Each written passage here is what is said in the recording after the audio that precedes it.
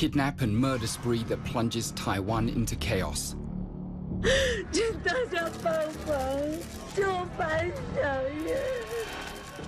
In the Philippines, a hostage situation spirals out of control.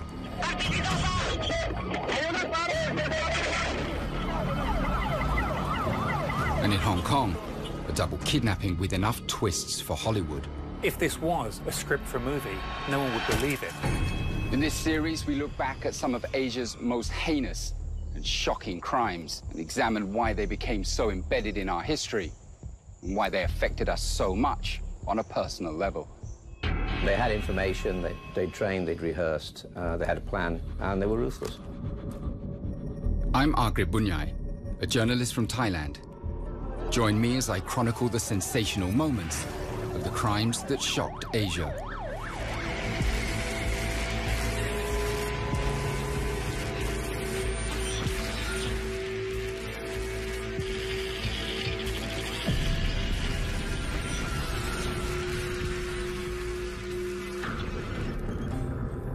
According to a recent global report, kidnappings in Asia were at their highest in 2016, while internationally, kidnappings have been a frequent method of terrorists and criminals looking to make a political point or just for the ransom. Kidnappings for money have always been about a fast and easy payoff, and chances are that if the ransom is paid, then the hostage will be released. But not all kidnappings are motivated by money. But the one thing that they do have in common is that they rely on careful and skilled negotiations. In this episode, we look at some of Asia's most infamous kidnappings and see how when negotiations break down, things can turn ugly very quickly.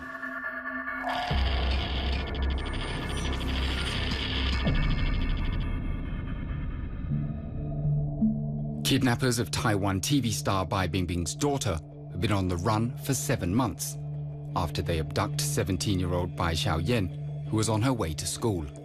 你要到长庚 球场的坟墓去找白小燕的东西，我就慢慢拆。第一个拆开，它是一个便当盒。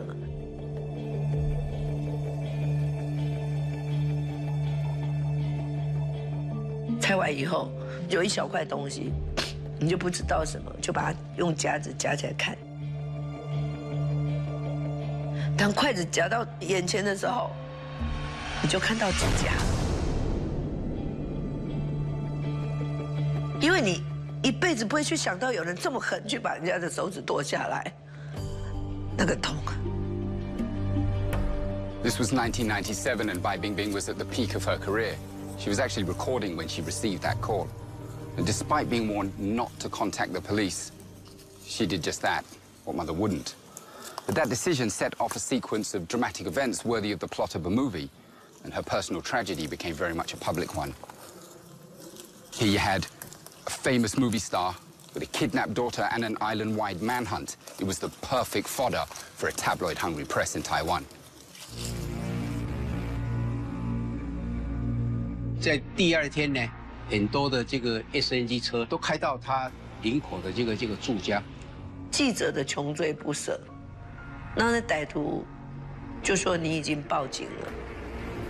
他最后一通电话永远记得， 他说啊呵呵呵，他用台语啊呵呵白冰冰，你你你赶紧被冲敌，然后就用那个三字经一直骂我，给我我要给你后悔一辈子。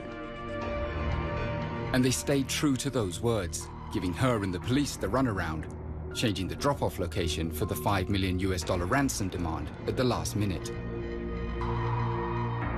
就三不五时想打就打，然后 就是随便叫，就是叫你说你现在把钱送到哪里，就其实是捉弄你。他那个捉弄是看后面有没有警察跟。 Bai Bingbing receives one last call from the kidnappers with a new meeting point. Just when she thought she could finally have her daughter back safe, the media foiled the entire exchange, appearing at the location. Enraged, the kidnappers abort their plans and never call again. Taiwan's press has a reputation for being one of the most aggressive in Asia, but here they'd violated a widely known practice, and that's that you don't report on a kidnapping until there's been a resolution. On the other hand, why did the kidnappers pick the daughter of a celebrity if they had wanted to stay under the radar?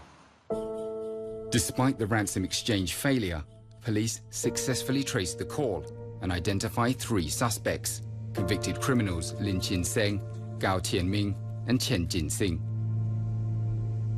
But that provided no comfort for Bai Bingbing when she receives news that a female corpse is found 12 kilometers from where her daughter was abducted. 最明显的部分呢，第一个就要解释一下她的小指，那个地方也很明显的看到小小指不见了。Forensics confirmed the body to be that of Bai Xiaoyan and estimate that she could have been dead for 8 to 10 days. This means that she was probably killed two or three days into the abduction and possibly before the media had even gotten hold of it. The kidnappers had played Bai Bingbing for a fool. It was a heartbreaking end for a mother who had borne witness to every step of the tragedy. And the horror of Bai Xiaoyan's murder was only the start of a bloody crime rampage as her killers go on a seven-month kidnap and killing spree. 这三个人在犯案过程中，尤其是陈晶晶强暴女孩子的方式是非常的残暴，而且举例讲说，说他在一个女孩子的妈妈面前去强暴她女儿，或在女儿面前强暴她母亲，这都是非常的不人道。Taiwan launched the largest manhunt in its history, and as posters of the three suspects began to pop up, mass hysteria set in. Parents began to pick up their kids from school instead of letting them walk home alone, and in classes, young girls were taught how to use pepper spray. Bai Xiaoyan's death triggered a real fear that social order in the country was collapsing, and then it sparked the biggest protests against rising crime rates that Taiwan has ever seen. And it even broke down the government of the first democratically elected president, with several key ministers and the chief of police resigning amidst protests. Less than four months after Bai Xiaoyan's murder, a public tip-off sends police rushing to Wuchang Street to apprehend suspects Lin Chun-seng and Gao Tianming. 结果他们俩看引擎来以后，就从六楼沿着那个冷气的窗口一直攀爬下来，那同仁就往下追，两艘追车在路口碰上，碰上就引发枪战。One police officer is killed and another is injured. Lin Chun-seng is shot six times before he turns the gun on himself. But the police still order in massive reinforcements. 为了确保还有没有其他的共犯在这个现场，也许高天明还躲在现场，也许陈庆兴当时没有被发现，也是躲在这个附近，所以才有五常街封街起来做好搜索。And true to form, the media packed the streets, broadcasting the 800-man siege live across the nation. 警察到现场，媒体也到现场，而且媒体比警察人力还要多。中午时分，民众在用餐，所以民众围观也非常多，造成那个现场极度混乱。 Chaos resulted in the police losing control of the situation, and Chen and Gao escape. Once again, the media had gotten in the way of police operations. But surprisingly, even though Chen and Gao knew that the police were hot on their heels, this didn't put an end to their crime rampage. Who knows what they were trying to achieve at this point? Well, what they did next would go beyond what anyone thought possible. Two months after the shootout, police received chilling reports that three bodies had been found in a plastic surgery clinic in downtown Taipei. 发现一个一个一个女士，可能大概是中这个中年人，躺在那边，她的眼睛啊也是被黄色胶带所蒙住，在太阳穴中间呢有一个弹孔，就我们把镜头跟我自己呢回头一转，就发现旁边有个厕所，厕所里面有躺两个人，那个医生呢坐在马桶上面，他穿着白色的医师服啊，还打了领带，但是领带已经是扯歪了，一样一样在。头顶上的弹孔。那另外一名这个女生呢，她也是，她看起来是护士，她倒卧在啊浴缸里面去。那看起来三人都没有生命迹象。 Gao and Chen had forced a plastic surgeon, his wife, and their assistant at gunpoint to alter their appearances. After the procedures, they execute all three. Plastic surgery at gunpoint. This is like the surreal plot of a Hollywood movie, except that this is very real and it's one of the most horrific acts of crime that Taiwan has ever witnessed. What goes through the mind of someone who's so desperate that they'll get plastic surgery but still finds time to rape and murder while they're on the run? 我虽然办过几百件的命案，还看过几千具的尸体，也从来没有看过这么冷血的动物啊。 In a stroke of luck, someone from the public spots Gao entering a massage parlor in Xipai, Taipei City. A gun battle erupts, and a police officer is hit, after which Gao Tianming kills himself. A celebrity's daughter's kidnap and murder, a shootout on the streets with police, and an execution at a plastic surgery clinic. Just some of the scenes from one of the largest ever crime sprees in Taiwan. There were cries of police inefficiency and media meddling, and this caused furor on the streets. Two of the key suspects had killed themselves, and the mastermind, Chen Jinsing, was still on the run. When he got news of his accomplices' deaths, well, this sent him into desperation. And at this point, he shoots into international headlines. He kidnaps a South African military attaché and his family. But at this point, what was he truly trying to achieve besides infamy? Did he honestly think that he could negotiate a getaway deal in exchange for the hostages? For the third time, Taiwan's media circus jeopardizes police operations. This time, broadcasting their phone interviews with Chen live 我觉得最深刻应该是有一个电视台的那个记者，那姓王啊，那他就问那个 那个陈进兴说：“你准备什么时候自杀？” Things were starting to get surreal. At one point, a journalist even asked Chen to sing karaoke with him over the radio. You have to remember this was being broadcast live. The listeners at home couldn't believe their ears. Here you had reporters with no negotiation experience engaged in hours of dialogue with a mentally and emotionally unstable killer that was holding four people hostage. Because they had him on the phone for most of the night, they effectively cut off the only line of communication that the police had to contact him on. Was there any wonder there was such a public outcry over such incredulity? But Chen spots the SWAT team coming for him and starts shooting. Hostages Colonel McGill Alexander and his 22-year-old daughter Melanie are caught in the crossfire, taking bullets to the knee, wrist and back. What happens next can only come from years of experience in hostage negotiations. 在最重要的一个关键时间点里面，你没有多大的犹豫时间，你只有赶快迅速下这个决定。虽然这个决定对你的生命有关。Commander Ho risks everything and enters the apartment unarmed, skillfully convincing Chen to release the hostages who need medical help.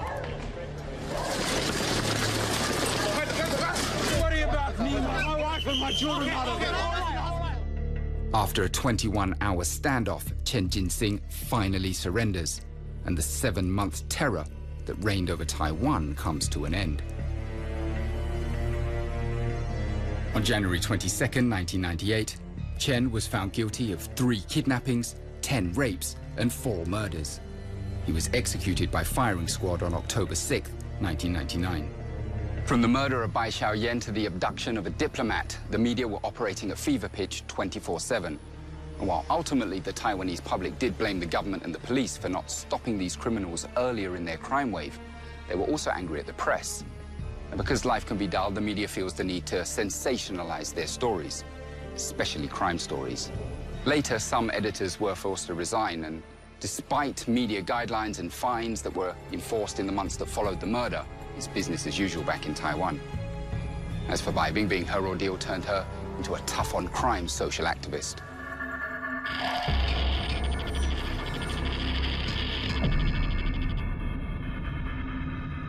In some parts of the Philippines, such as Mindanao, hostage-taking isn't that uncommon. It's so common, in fact, that the Special Forces even have explicit training to handle all kinds of hostile situations. But this just makes one particular incident that occurred in Manila in 2010 all the more tragic. Despite the training, the tools, and the experience, almost everything about that day ended in complete disaster.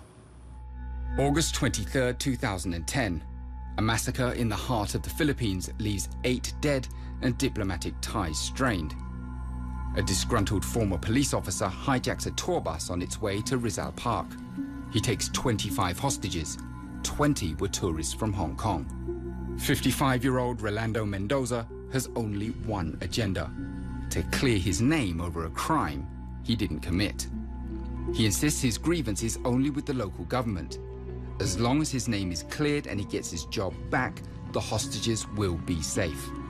就系呢整件事开始就系就嗰日就系好好，所以就好唔唔系几唔系几 happy 啊啊 ！Quick thinking tour group leader Diana Chan notifies her office of the hijacking in secret.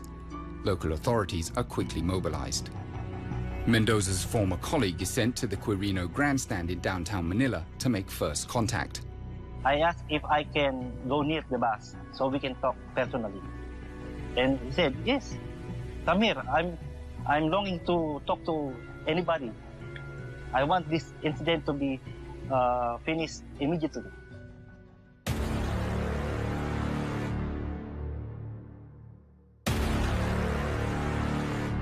Investigators would later point to the moment that Salvador approached Mendoza as the first in a long line of mistakes. He had been right there and the gun had been hanging by his side. If Salvador had disabled him then, none of this would have happened.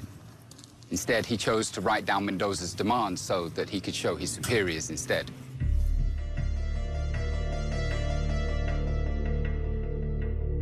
He only wanted that he be reinstated, his image be brought back to him, the pride, the Manila's finest uh, morale. That's what all he wanted. Mendoza was a decorated officer, and even after the incident, his colleagues described him as hardworking and kind. It's worth thinking whether there's something to this. After all, this was a man who felt like he was left with no other choice but to resort to desperate measures in order to prove his innocence. By this time, the tour bus perimeter is surrounded by hordes of media, exactly what Mendoza had wanted for an audience. When I saw that this guy is a police officer, I said, like, he knows the deal. Probably he will give up. It's like no one was taking him seriously, actually. To show he meant no harm to the hostages, he releases a mother and her three children and an elderly couple. 啊！我最惊就系嗰阵时，因为咧我好似我好似感觉到佢即系好似要要捉翻我转头咁样样啊！所以我 嗰时我就最惊嗰一刻啊！我喺呢个全个 hostage 咧就最惊嗰一刻嘅。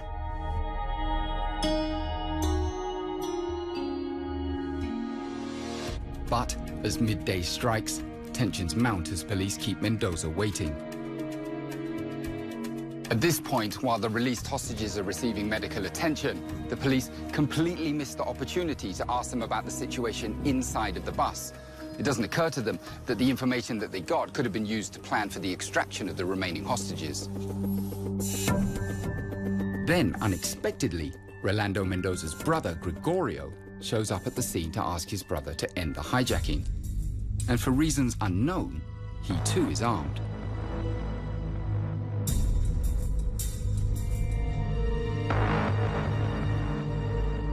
I tapped on his left shoulder and grabbed his firearm, from him, and told him, dito. Uh, you're not allowed here. He was already highly strung, and now Mendoza had to witness how police manhandled his brother and relieved him of his personal weapon. He was becoming agitated. It was seven hours into the hijacking, and they still hadn't come to him with a solution. Furthermore, the chief executive of Hong Kong, Donald Tsang, had been unable to contact President Aquino. This would do nothing for diplomatic ties between the two countries in the weeks that followed. Hope for the hostages emerges at nightfall, when negotiators present Mendoza with a letter from the authorities. Mendoza, who is now on the phone with a radio news network, is livid.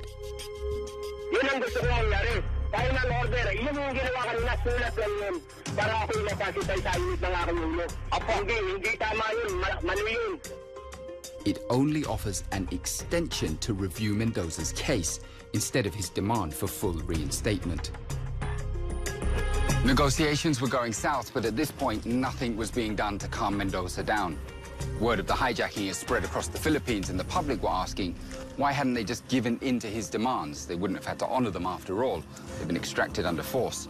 Mendoza would have released the hostages, the police could have arrested him, and that would have been the end of it. I told him, please come down. What if I can uh, convince my boss to, to uh, issue an order, not actually reinstating you, but uh, suspending the implementation? And he answered back, told me that, uh, okay. This buys only limited time with Mendoza. Colonel Yebra's superiors, however, aren't agreeable on issuing the orders. When the group did not reach an agreement as to whether or not issue said order, Mayor Lim suggested that they all go to Emerald Restaurant to take their dinner. It was, to put it mildly, a bewildering decision for the entire negotiation team to leave a hostage situation and go for dinner. The public was shocked, there was outcry, there were lives at stake here. Not only that, but it left a decision-making vacuum at the command post, and the failure to implement the new command immediately would have devastating consequences. Another drama with Rolando Mendoza's brother unfolds. He is resisting arrest for breaching the police cordon. Mendoza sees this happening from a live broadcast in the bus and flies into rage.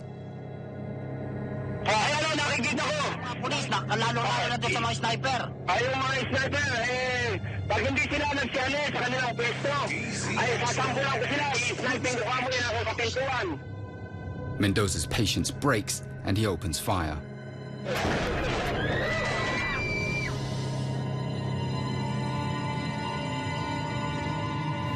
I look at the door of the bus. I saw the first guy that was handcuffed earlier. He just fell.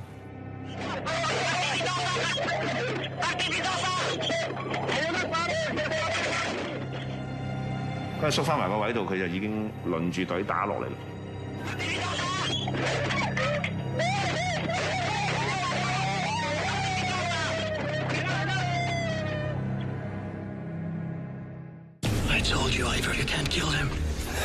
It's impossible. It's a new world. How have you lost your mind? Come with me! Come to King Alfred! We shall never surrender! The golden age of the Vikings is over.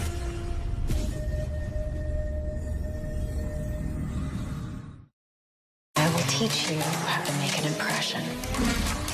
I'll make sure everyone knows about you. I got something I need to tell you. He's crazy. There will be blood on his hands. You think I'm being paranoid? All my life, I wanted to be somebody, someone. Show me what you do. That's when you create something great. Welcome to your new life. You should watch it and allow yourself to be inspired. Bombing again that again. Tokyo was burned out. Literally destroyed the eastern half of the city. The earthquake hit. Very big shock to Japanese society. Putting on the Olympic Games motivated the Japanese. Everybody was really excited about re-entering the global scene. Japan has bounced back and bounced back even stronger.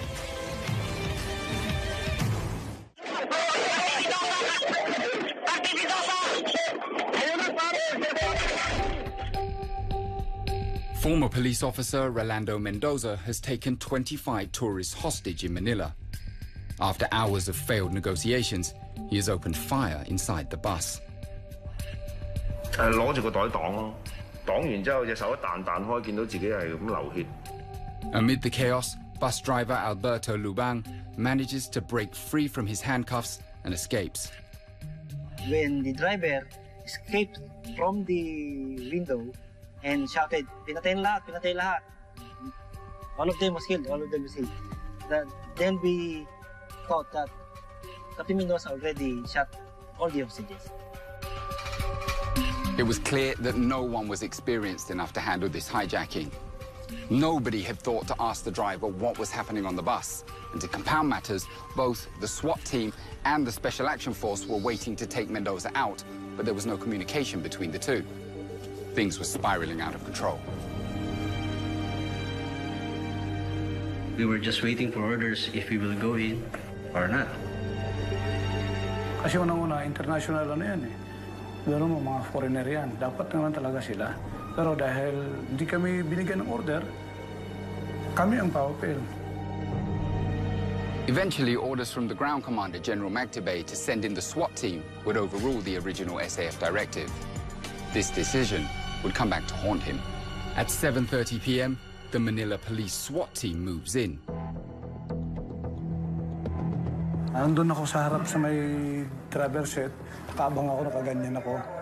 Nakaganyan ako, abang ako, baka pumunta sa area ko, akin. Pag nakuha ko siya, ma makita ko siya, akin siya.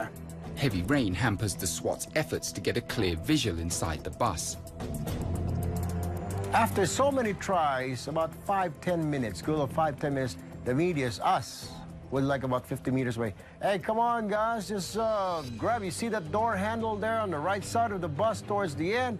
That's the exit uh, door. Flip it open or twist it and then pull the door. That's the exit. That's how you get in. And that's what they did. But as the SWAT team enter via the emergency exit, they are met with gunfire.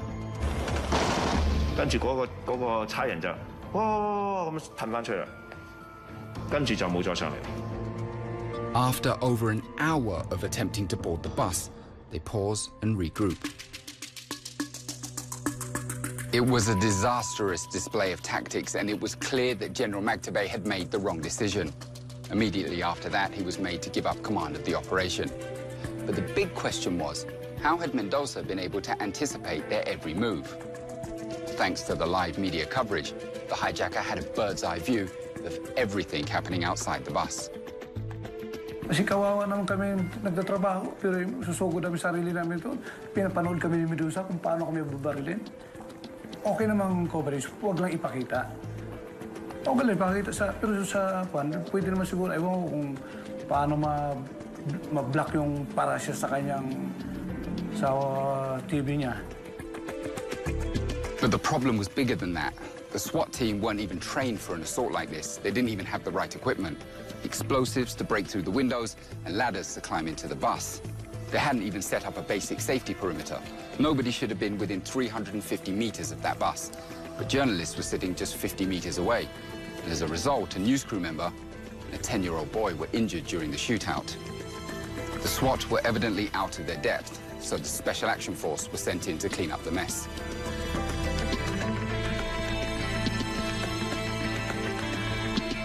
So what my thing that time was just uh, throw uh, tear gas. Mendoza goes down. He's forced to move to the front of the bus. Three minutes later, it all comes to an end. A SWAT sniper in the grandstand takes a shot.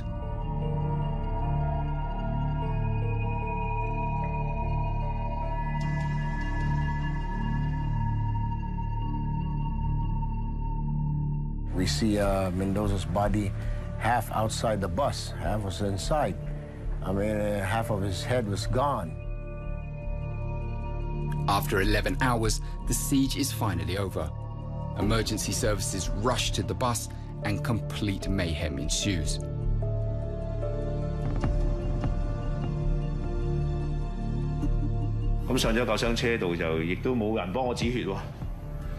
止血喎，止血都冇，连绷带都冇嘅救伤车。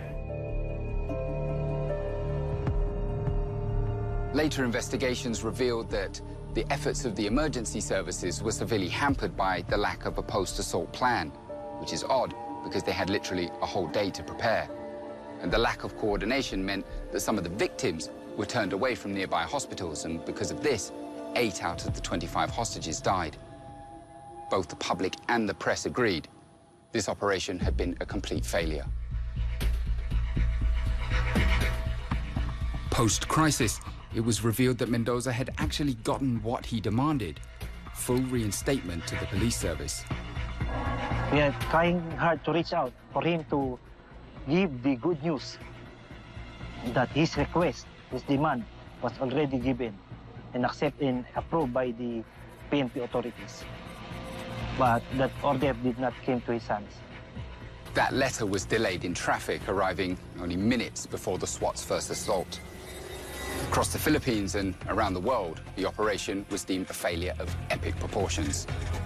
Later, criminal charges were brought up against Manila's mayor, General Magtibay, the hostage negotiator, Colonel Yebra, two journalists, including Erwin Tulfo, and three broadcast networks. The disaster even broke down diplomatic ties between Hong Kong and the Philippines. Up until 2014, Hong Kong maintained a black alert level that's on par with Syria against travel to the Philippines. Bombing again and again. Tokyo was burned out. Literally destroyed the eastern half of the city. The earthquake hit. Very big shock to Japanese society. Putting on the Olympic Games motivated the Japanese. Everybody was really excited about re-entering the global scene. Japan has bounced back and bounced back even stronger. We tend to think that everything in the world is pretty much known. It isn't true. Are there such things as deadly forests? 100 bodies a year are found in that place. Bizarre creatures. There has been thousands of sightings of chupacabras. Haunted houses. Do you think what's in that house is evil? The answers are frightening.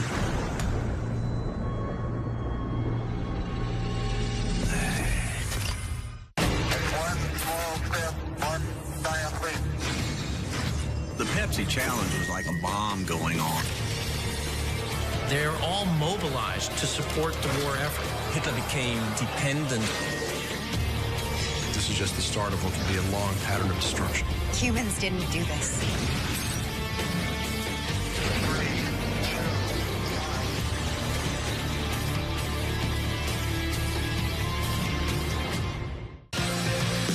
So, how much you want for it? Is this really LeBron James's mouthpiece?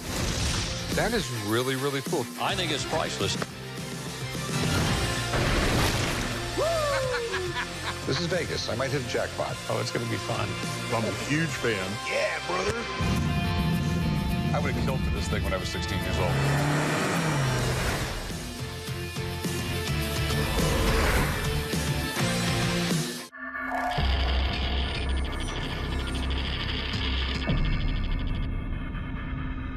It's an all familiar plot line. Someone with money is abducted and a big ransom demand is made. Once the money's paid, the hostage is released.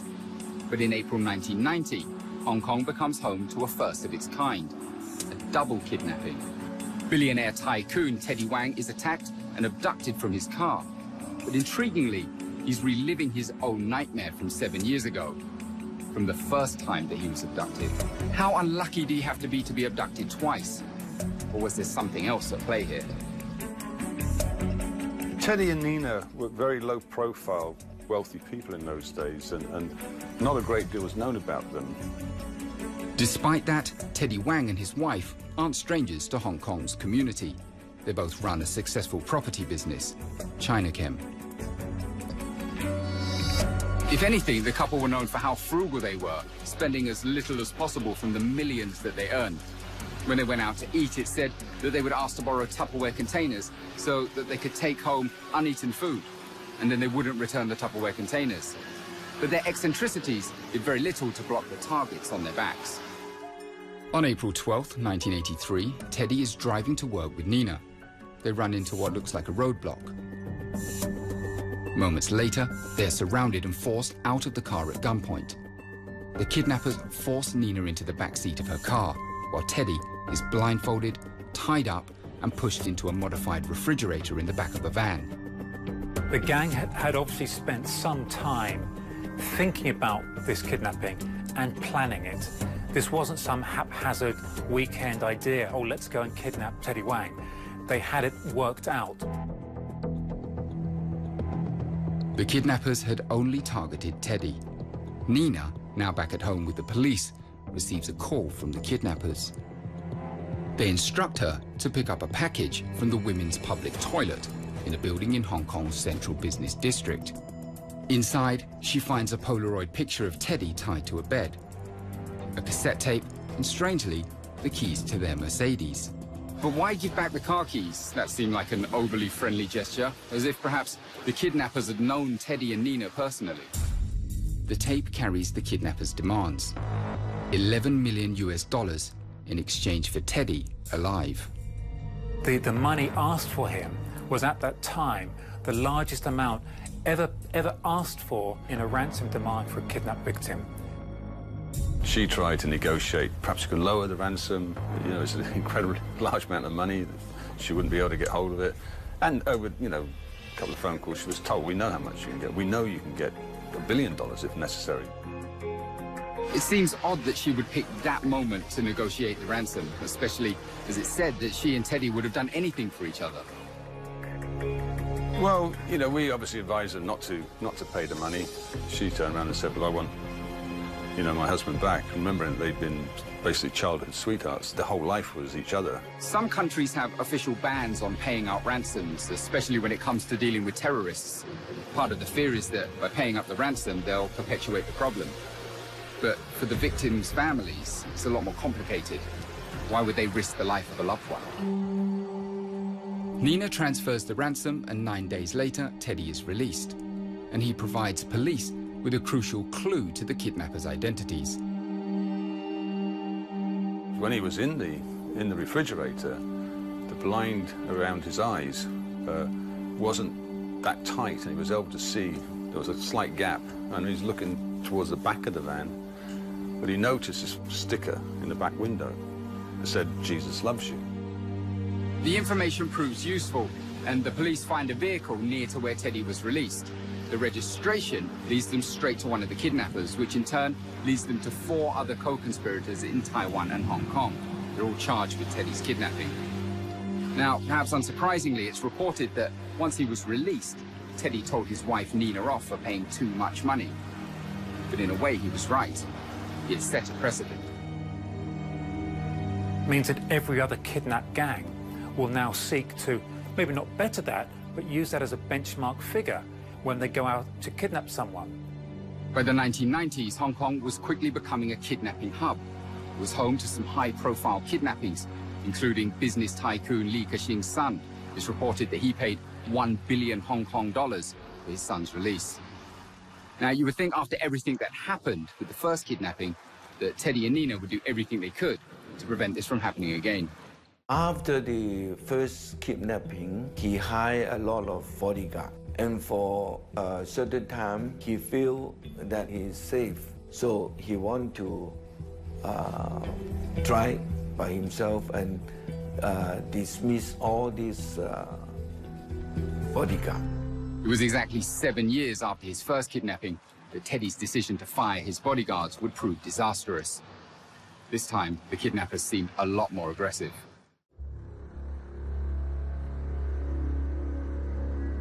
Calls that came in were very direct, very clear. You know, we're going to kill him, we're going to cut his ears off, um, we want your money. That was clear and very apparent.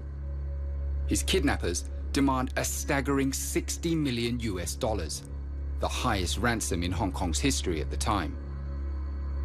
Uh, Nina began to um, worry. She became uh, very distressed. And at one point she said, I'm going to pay. My advice was clear, no proof of life, don't pay. Uh, hers was, it's my money, I'll do what I like with it. Why wouldn't she pay the ransom? It had worked the first time. But that wasn't the end of the story. Later, the South China Morning Post reported that Nina had engaged in some bizarre rituals to help track down her husband. She ordered contractors to dig as many as 80 feng shui holes across Chinachem-owned properties. This is what feng shui masters call planting a life base. In the end, Nina and the police made a compromise. Only half of the money would be wired in order to give the police enough time to track down his abductors. Back in the 90s, electronic banking was still in its infancy and ATMs were scarce. And this is what gave the police the advantage. We split it into two-man teams on every ATM machine that we could find, and we linked up between that and the, the bank so that as soon as anybody attempted to access electronically one of those, they would call us, we would call them through our control room, and then we would go out to the guys in the field. All this before mobile, massive use of mobile phone. Soon enough, the bank account is being accessed. The police narrow in on the suspect. Interrogations revealed that he is part of a criminal network spread across Hong Kong, China, and Taiwan. The ringleader is a former Taiwanese intelligence agent named Chen Xiyan. In parallel, uh, we, had a, we had a coordinated movement, a team on the ground in uh, Taiwan, moved and hit a hotel room in, in Taipei, and we caught Chen and a number of other individuals packing the proceeds of the money into shoeboxes. Police recover 28.5 million US dollars, but Teddy is still missing, and investigators now fear the worst. On the evening of April 12th, Teddy is taken to an apartment and drugged. His unconscious body is then wrapped in tarpaulin.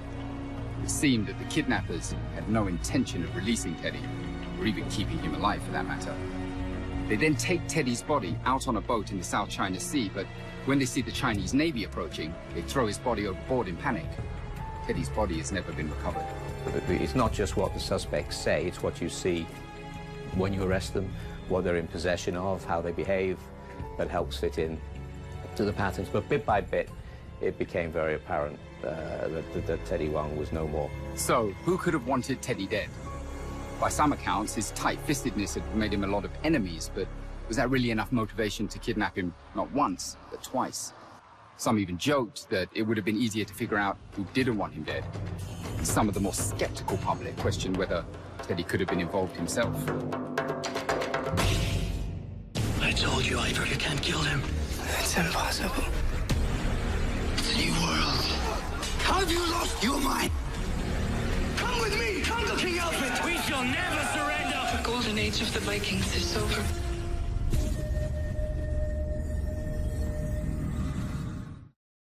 I will teach you how to make an impression. I'll make sure everyone knows about you. I got something I need to do. He's crazy. There will be blood on his hands. You think I'm being paranoid? All my life, I wanted to be somebody, someone. Show me what you done. That's when you create something great. Welcome to your new life. You should watch it and allow yourself to be inspired. If you don't approach the ranch with a degree of reverence, bad things happen. We've verified and documented some of the most disturbing, unexplained events on this property. It's just a place, right? My hope is to get some answers. When we bring new people onto the ranch, the ranch behaves differently than it normally does. There it is again. This is the most unique science project of its kind. There's things that go on on that ranch that I cannot get my head around. Nothing's junk. Big building, big stuff. Big man stuff. Make me proud. I've got to try to buy this. Can we look around? Absolutely. 20 years of my negotiating skills to try to get the job done. Oh, my God. Oh, boy. It's just the kind of place me and Frankie like. That's what I'm talking about, that signature piece. This is going to be an awesome pick. 130. 125. 130. 130.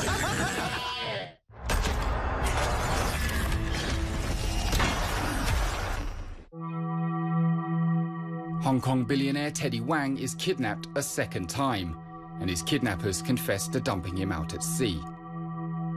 But his body is never recovered, and his wife Nina refuses to believe that Teddy is dead.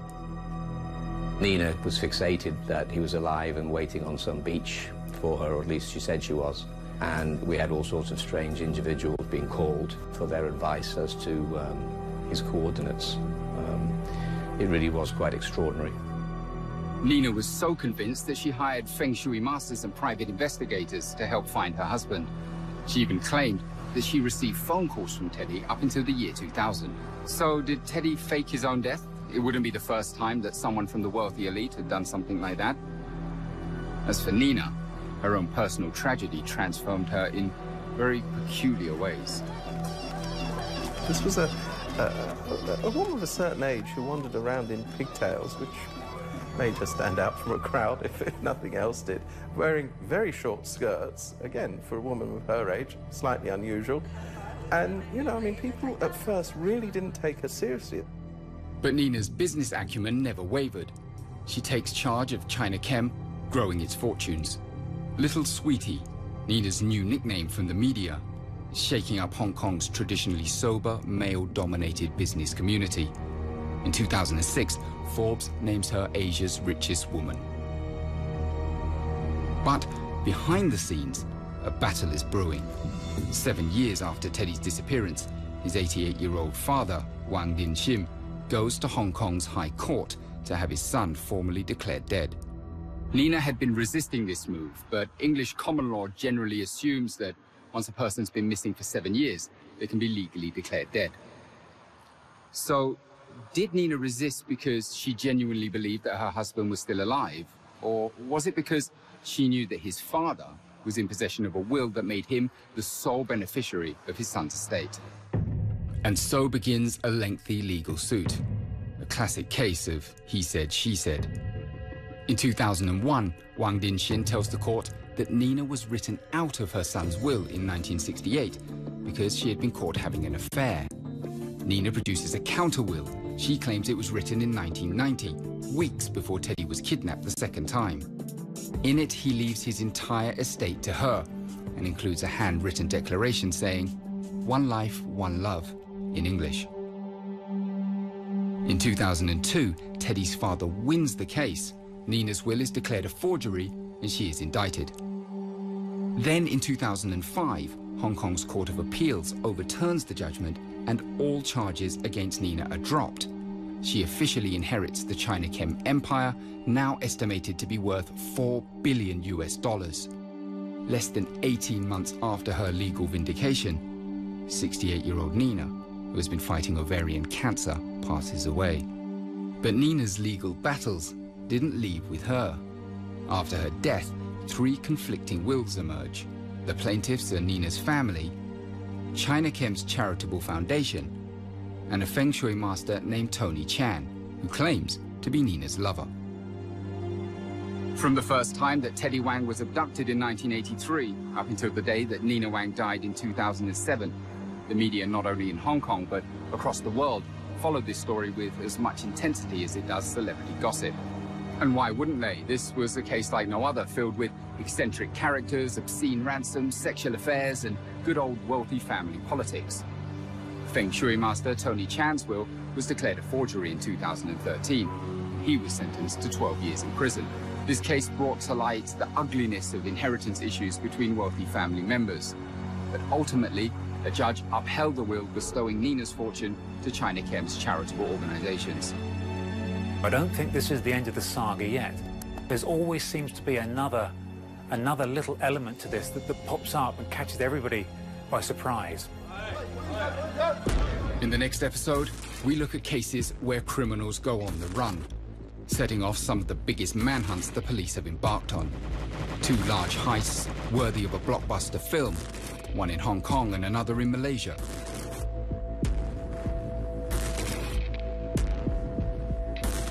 And in Taiwan, one impulsive act of trying to save one's face leads to a no-holds-barred crime wave.